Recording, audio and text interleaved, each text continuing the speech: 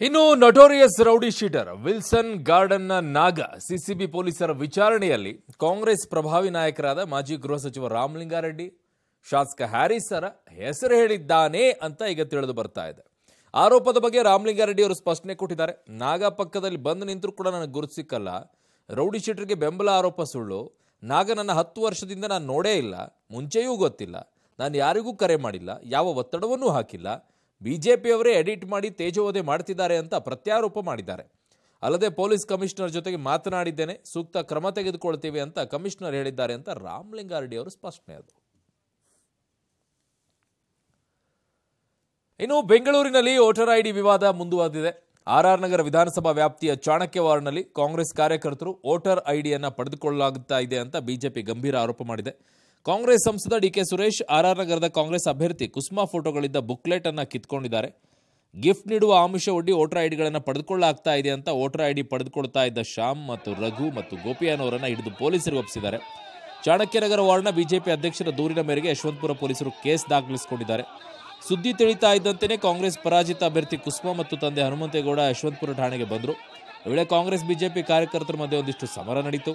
ಪ್ರಕರಣದ ಬಗ್ಗೆ ಕಾಂಗ್ರೆಸ್ನ ಕುಸುಮ ಮಾತನಾಡಿ, ನಾವು ಕಾಂಗ್ರೆಸ್ ಅಂತ ಹೇಳಿಯೇ ಲಿಸ್ಟ್ ಚೆಕ್ ಮಾಡಿದ್ದೇವೆ.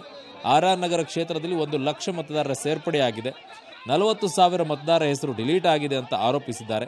ಈ ಮಧ್ಯೆ ಚಿಲುಮೆ ಪ್ರಕರಣದಲ್ಲಿ ಹಲಸೂರು ಗೇಟ್ ಠಾಣೆಯಲ್ಲಿ ಎಸ್ ಅಧಿಕಾರಿ ರಂಗಪ್ಪ ವಿಚಾರಣೆಗೆ ಹಾಜರಾಗಿದ್ದಾರೆ. ಇವತ್ತು ಏನು ಈ ಬೂತ್ ಬುಕ್ ಇದೆ? ಈ ಒಂದು ವೋಟರ್ ಲಿಸ್ಟ್ ಏನಿದೆ?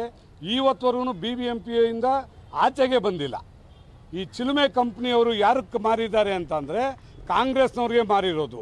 ಯಾಕೆಂತಂದರೆ ಈಗ ನಾವು ವಾರ್ಡ್ ನಂಬರ್ ಮೂವತ್ತೇಳು ಯಶವಂತಪುರ ಅಂತ ಇತ್ತು. ಇದರಲ್ಲಿ ಚಾಣಕ್ಯ ಅಂತ ಇದೆ. ಚಾಣಕ್ಯ ಅಂತ ನೂತನವಾಗಿ ಕ್ರಿಯೇಟ್ ಆಗಿರುವಂಥ ಒಂದು ವಾರ್ಡ್ ಅದು. ಆ ವಾರ್ಡಿನ ವೋಟ್ ಲಿಸ್ಟ್ ಇವ್ರು ಇಕ್ಕೋತಾರೆ ಅಂತ ಅಂದರೆ ನೀವು ತಿಳ್ಕೊಳ್ಳಿ ಚಿಲುಮೆಗೂ ಮತ್ತು ಕಾಂಗ್ರೆಸ್ನವರು ಇರೋ ನಂಟು ಎಷ್ಟಿದೆ ಅಂತ. ಸೊ ನಾವು ಯಾಕೆ ಸರ್ ಹೋಗ್ಬಿಟ್ಟು ವೋಟರ್ ಐ ಡಿ ಡಿಲೀಟ್ ಮಾಡೋಣ? ನಾವು ಡಿಲೀಟ್ ಆಗಿರೋರನ್ನ ಚೆಕ್ ಮಾಡ್ತಾ ಇದ್ದೀವಿ ಅನಧಿಕೃತವಾಗಿ ಯಾರು ಬಂದು ಸೇರ್ಕೊಂಡಿದ್ದಾರೆ. ಯಾರು ಈಗಿಲ್ಲ ಇಲ್ಲಿ ವಾಸ. ಎಲೆಕ್ಷನ್ ಸಮಯದಲ್ಲಿ ಮಾತ್ರ ಬಂದು ವೋಟ್ ಹಾಕುವಂತವ್ರ ಹೆಸರುಗಳನ್ನ ಇನ್ನೂ ಉಳಿಸ್ಕೊಂಡಿದ್ದಾರೆ. ಒಂದು ಲಕ್ಷ ವೋಟ್ ಮತದಾರರು ಯಾರಿದ್ದಾರೆ? ಆಡ್ ಮಾಡಿರುವಂಥವ್ರು ಯಾರು? ನಲ್ವತ್ಮೂರು ಸಾವಿರ ಮತದಾರರುಗಳನ್ನ ಡಿಲೀಟ್ ಮಾಡಿರುವಂತದ್ದು ಯಾರು ಅಂತ ಮೊದಲನೇ ಮಾತು ನಿಮಗೆ ಯಾರು ಇವೆಲ್ಲ ಪರವಾನಗಿಯನ್ನ ಕೊಟ್ಟವರು ಅಂತ? ಈ ಚುನಾವಣಾ ಆಯೋಗದವರು ಯಾಕೆ ಕೇಳ್ತಾ ಇಲ್ಲ ಅಂತ? ರಾಜಕೀಯ ಪಕ್ಷದವ್ರು ಹೋಗೋದು, ಮನೆ ಮನೆಗೆ ಹೋಗ್ಬಿಟ್ಟು ವೋಟರ್ ಐ ಚೆಕ್ ಮಾಡೋದು, ಚಿಲುಮೆ ಏನು ತಪ್ಪು ಮಾಡಿತ್ತು ಅದೇ ತಪ್ಪನ್ನ ಬೇರೆ ಎಲ್ಲ ಮಾಡ್ತಾ ಇದ್ದೀರಾ? ಅದನ್ನೇ ತಪ್ಪು ಮಾಡ್ತಾ ಇದ್ದೀರಾ? ನಿಮ್ಗೆ ಯಾರು ವೋಟರ್ ಐ ಡಿ, ಇನ್ನೊಬ್ಬರು ವೋಟರ್ ಐ ಡಿಯನ್ನು ಹೋಗ್ಬಿಟ್ಟು ಚೆಕ್ ಮಾಡೋಕ್ಕೆ ಹೇಳಿದವ್ರು ಯಾರು? ಅವ್ರದ್ದು ವೋಟರ್ ಐ ಡಿ ಡಿಲೀಟ್ ಆಗಿದೆ ಅನ್ನೋದಾದರೆ ಅವ್ರು ಬಂದು ಕೇಳ್ತಾರೆ, ಅವ್ರು ಚೆಕ್ ಮಾಡ್ಕೊಳ್ತಾರೆ. ನೀವು ಮನೆ ಮನೆಗೆ ಹೋಗ್ಬಿಟ್ಟು ಲಿಸ್ಟ್ ರೆಡಿ ಮಾಡ್ತಾ ಇದ್ದಾರಂತೆ. ಹಾಂ ಹಾಂ ಚೆನ್ನಾಗಿದೆ ರೀ ಅಲ್ಲಿ, ಅವ್ರು ಹಂಗೆ ಮಾಡಿದಾರೆ ಅಂತ ಹೇಳ್ಬಿಟ್ಟು ನೀವು ಹಿಂಗೆ ಮಾಡ್ಕೊಂಡು ಓಡಾಡಿ. ಒಂದೇ ಕೆಲಸಕ್ಕೆ ಎರಡು ಕೆಲಸ, ಒಂದೇ ಕಲ್ಲಿಗೆ ಎರಡು ಹಕ್ಕಿ ಹೊಡೆಯೋ ಕೆಲಸ ಇದು. ತಮ್ಮ ರಾಜಕೀಯ ಲಾಭನೂ ಆಗಬೇಕು, ಇದು ಆಗಬೇಕು ಅಂತ. ಇನ್ನು ಮಹಾರಾಷ್ಟ್ರ, ಕರ್ನಾಟಕ ಗಡಿ ವಿವಾದ ರಾಜಕೀಯ ಜೋರಾಗ್ತಾ ಇದೆ. ಸುಪ್ರೀಂ ಕೋರ್ಟ್ನಲ್ಲಿ ವಿಚಾರಣೆ ನಡೀತಾ ಇರುವಾಗ ಮಹಾರಾಷ್ಟ್ರ ಸಚಿವರು ಬೆಳಗಾವಿಗೆ ಬರೋದು ಬೇಡ ಅಂತ ಸಿಎಂ ಬಸವರಾಜ ಬೊಮ್ಮಾಯಿ ಹೇಳಿದ್ದಾರೆ. ಈ ಸಂಬಂಧ ನಮ್ಮ ಸರ್ಕಾರದ ಚೀಫ್ ಸೆಕ್ರೆಟರಿ ಮಹಾರಾಷ್ಟ್ರ ಸರ್ಕಾರಕ್ಕೆ ಪತ್ರ ಬರೆದಿದ್ದಾರೆ. ಗಡಿ ಕನ್ನಡಿಗರಿಗೆ ನೀರಾವರಿ ಸೌಲಭ್ಯ ಸೇರಿದಂತೆ ಹಲವು ಯೋಜನೆಗಳನ್ನು ನಾವು ಹಾಕ್ಕೊಂಡಿದ್ದೇವೆ ಅಂತ ಸಿಎಂ ಎಲ್ಲ ಹೇಳಿದ್ದಾರೆ. ಮಹಾರಾಷ್ಟ್ರ ಸಚಿವರು ಇಲ್ಲಿಗೆ ಬರಲು ಬೆಳಗಾವಿ ಏನು ಮಾವನ್ ಮನೆನಾ ಅಂತ ಮಾಜಿ D C M Lakshman Savadi ಎಲ್ಲ ಪ್ರಶ್ನೆ ಮಾಡಿದ್ದಾರೆ. ಆದರೆ ಡಿಸೆಂಬರ್ ಆರರಂದು ನಾನು ಬೆಳಗಾವಿಗೆ ಬಂದೇ ಬರ್ತೀನಿ. ಗಡಿ ಭಾಗದ ಜನರ ಸಮಸ್ಯೆ, ಗಡಿ ಹೋರಾಟದಲ್ಲಿ ಮೃತಪಟ್ಟ ಹುತಾತ್ಮರ ನಿವಾಸಕ್ಕೆ ಭೇಟಿ ಕೊಟ್ಟೇ ಕೊಡ್ತೀನಿ ಅಂತ ಆ ಸಚಿವ ಚಂದ್ರಕಾಂತ್ ಪಾಟೀಲ್ ಉದ್ದಟತನದ ಹೇಳಿಕೆ ಕೊಟ್ಟಿದ್ದಾನೆ. ಮಹಾರಾಷ್ಟ್ರ ಸಚಿವರು ಬೆಳಗಾವಿಗೆ ಬರಬಾರದು. ಜಿಲ್ಲಾಡಳಿತ ನಿಷೇಧ ಇರಬೇಕಂತೆಲ್ಲ ಸಂಘಟನೆಯವರು ಒಂದಿಷ್ಟು ಕನ್ನಡ ಸಂಘಟನೆಯವರೆಲ್ಲ ಹೋರಾಟ ಮಾಡಿದ್ದಾರೆ. ಇತ್ತ ಬಾಗಲಕೋಟೆ ಇಳಕಲ್ ನಗರದಲ್ಲಿ ಮಹಾರಾಷ್ಟ್ರ ಸರ್ಕಾರ ಹಾಗೂ ಎಂಇಎಸ್ ವಿರುದ್ಧ ಕರವೇ ಪ್ರತಿಭಟನೆ ಮಾಡಿದೆ.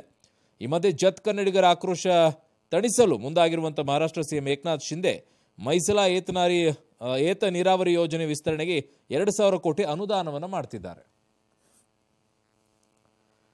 ನಮಗೆ ಕಾನೂನು ಗೊತ್ತಿಲ್ಲ ಅಂದ್ರೆ ನಾವೇನು ಕಾನೂನು ಮಾಡಬೇಕಾ ಅಂತ ಕುಷ್ಟಗಿ ಕಾಂಗ್ರೆಸ್ ಶಾಸಕ ಅಮರೇಗೌಡ ಬಯಾಪುರ್ ಹೇಳಿದ್ದಾರೆ. ಕೊಪ್ಪಳದ ವಕೀಲರ ಸಂಘದ ಕಾರ್ಯಕ್ರಮದಲ್ಲಿ ಭಾಗವಾಗಿದ್ದ, ಭಾಗಿಯಾಗಿದ್ದ ಅಮರೇಗೌಡರು, ಎಷ್ಟೋ ಸಲ ನಾವು ಕಾನೂನು ಮಾಡ್ತೀವಿ, ಆದರೆ ಅದು ಪಾಸ್ ಆಗೋದಿಲ್ಲ. ರಾಜಕಾರಣಿಗಳಿಗೆ ಕನಿಷ್ಠ ಕಾನೂನು ಪದವಿ ಇಲ್ಲ ಅಂದರೆ ಹೀಗಾಗತ್ತೆ. ರಾಜಕಾರಣಿಗಳಿಗೆ ಪದವಿ ಆದರೂ ಕಡ್ಡಾಯ ಆಗಬೇಕು ಅಂತ ಹೇಳಿದ್ದಾರೆ. ಕರೆಕ್ಟ್ ಸರ್ ಅದು.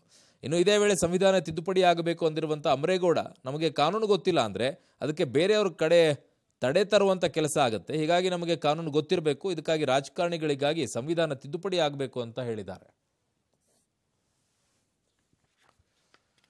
ಹಾ, ಇನ್ನು ದೆಹಲಿಯಲ್ಲಿ ಶ್ರದ್ಧಾ ವಾಲ್ಕರ್, ಅಂಜನ್ ದಾಸ್ ಭಯಾನಕ ಹತ್ಯೆ ಹಸಿಯಾಗಿರುವಾಗಲೇ ಮುಂಬೈನಲ್ಲಿ ಮತ್ತೊಂದು ಘೋರ ಕೊಲೆ ಪ್ರಕರಣ ಈಗ ಬೆಳಕಿಗೆ ಬರ್ತಾ ಇದೆ. ಲವರ್ ಜೊತೆಗೆ ಸೇರಿ ಆಸ್ತಿಗಾಗಿ ಉದ್ಯಮಿ ಪತಿ ನಲವತ್ತಾರು ವರ್ಷದ ಕಮಲ್ಕಾಂತ್ ಶಾನನ್ನ ಪತ್ನಿ ಕಾಜಲ್ ಶಾ ಕೊಲೆ ಮಾಡಿದ್ದಾಳೆ. ಹೇಗೆ ಅಂದರೆ, ಊಟದಲ್ಲಿ ನಿತ್ಯವೂ ಕೂಡ ವಿಷಪ್ರಾಶನ ಮಾಡಿಸಿ ಕೊಂದಿದ್ದಾಳೆ.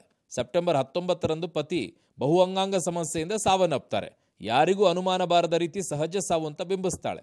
ಆದರೆ ಮರಣೋತ್ತರ ಪರೀಕ್ಷೆಯಲ್ಲಿ ಕಮಲ್ಕಾಂತ್ ರಕ್ತದಲ್ಲಿ ಆರ್ಸೆನಿಕ್ ಮತ್ತು ಥಲಿಯಂನಂತಹ ವಿಷಕಾರಿ ಅಂಶಗಳು ನಾನ್ನೂರು ಪಟ್ಟು ಹೆಚ್ಚು ಪ್ರಮಾಣದಲ್ಲಿ ಪತ್ತೆಯಾಗಿದೆ. ಪ್ರಕರಣ ಸಂಬಂಧ ಪತ್ನಿ ಕಾಜಲ್ ಶಾಗೆ ನಲವತ್ತಾರು, ಹಿತೇಶ್ ಜೈನ್ ನಲವತ್ತೈದು, ಇವರನ್ನ ಪೊಲೀಸರಿಗೆ ಅರೆಸ್ಟ್ ಮಾಡಿದ್ದಾರೆ. ಇನ್ನು ಮುಂಬೈನ ಸ್ಯಾಂಡ್ ಕ್ರೂಸ್ನಲ್ಲಿ ಗಾರ್ಮೆಂಟ್ಸ್ ನಡೆಸ್ತಾ ಇದ್ದಂಥ ಕಮಲ್ಕಾಂತ್ ಆಸ್ತಿ ಮೇಲೆ ಕಣ್ಣು ಹಾಕಿ ಇನ್ಶೂರೆನ್ಸ್ ಕಂಪನಿಯಿಂದಲೂ ಕೂಡ ಮಾಹಿತಿ ಪಡ್ಕೊಂಡಿದ್ದಾಳಂತೆ. ಕಮಲ್ಕಾಂತ್ ತಾಯಿ ಸರಳ ಕೂಡ ಇದೇ ರೀತಿ ಬಹುಅಂಗಾಂಗ ಸಮಸ್ಯೆಯಿಂದ ಆಗಸ್ಟ್ ಹದಿಮೂರರಂದು ಸಾವನ್ನಪ್ಪಿದ್ರು. ಬೆಂಗಳೂರಲ್ಲಂತೂ ಚಿರತೆ ಹಾವಳಿ ಕಡಿಮೆ ಆಗ್ತಾ ಇಲ್ಲ. ಅಲ್ಲಲ್ಲಲ್ಲಿ ಚಿರತೆ ಮತ್ತೆ ಕಾಣಿಸ್ಕೊಳ್ತಾನೆ ಇದೆ, ಹುಡುಕ್ತಾ ಸಾಧ್ಯ ಆಗ್ತಾ ಇಲ್ಲ. ದೊಡ್ಡಬಳ್ಳಾಪುರದಲ್ಲೂ ಕೂಡ ಹಾಗೆ ಆಗಿದೆ.